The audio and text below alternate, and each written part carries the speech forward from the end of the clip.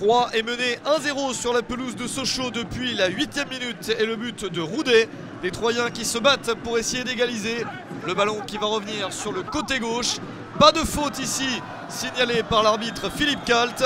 Du coup, Fabrice Nsakala peut centrer à la 34e minute pour Julien Faussurier. C'est le but de l'égalisation à un but partout.